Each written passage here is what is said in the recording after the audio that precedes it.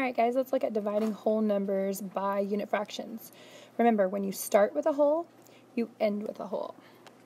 Okay, now looking at this first problem, here it says I have three Twizzlers to share with five friends. If I give each friend one third of a Twizzler, will there be enough?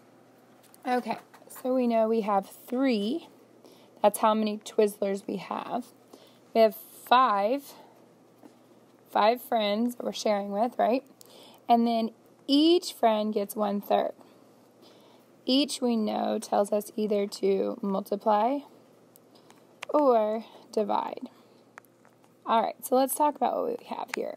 In this problem, we have some Twizzlers, right? We have one Twizzler, two Twizzlers, three Twizzlers.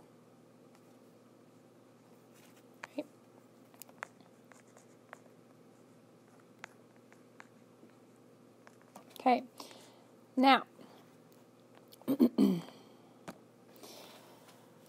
says she's going to give each friend one third of a Twizzler. Well, we don't, we know we're going to give them one third, but we don't know how much one third is because we haven't split them.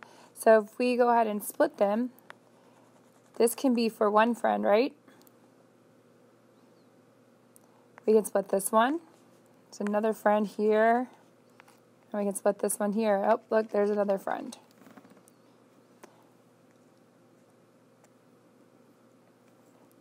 But this can also be a friend, and this is a friend, and this is a friend, and this is a friend, and this is a friend, and this is a friend.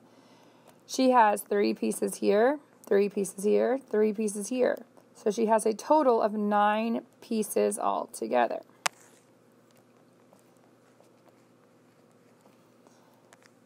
The question is, is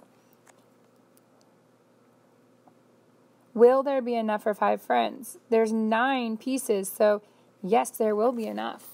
We took originally, let's look at our equation. We had three Twizzlers. We divided them by thirds, and we ended up with nine pieces. We know that if we start with a whole, we must end with a whole.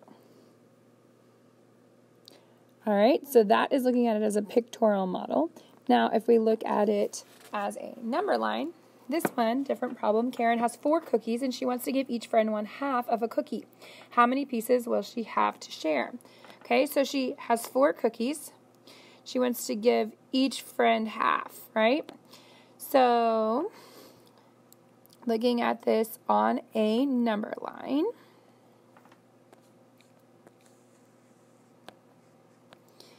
We know she has four cookies, so we're going to go from 0 to 4. So 1, 2, and 3. Now, this is going to equal one whole cookie. So here it says she has, each friend is getting a half of a cookie. So I know that this is going to have to be split into halves, right? This right here equals cookie enough for one friend. This right here is enough cookie for another friend. If you split this one into half, here's another friend, another friend. Split this one into halves, one friend, oh, another friend. Split this one into half. Here's one friend, sorry, one friend, and another friend.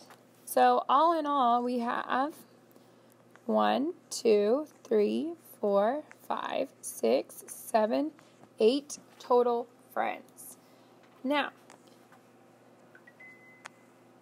for if you notice, for right here, for one whole cookie, she was able to get two pieces. So you could have just counted by twos. Here's another two pieces, another two pieces, and another two pieces. So two, four, six, eight. She was able to get eight pieces. Essentially, we started off with four cookies. We divided each of them into half. That left us with eight total pieces. Same amount of cookies, they're just into smaller pieces. Remember, we started with a whole, so we have to end with a whole.